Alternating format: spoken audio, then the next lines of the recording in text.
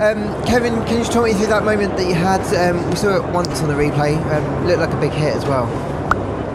I didn't even feel it, so um, it definitely wasn't a, wasn't something uh, that felt big in the car, but it was enough to take to um, crack the rim and take the, the tire off.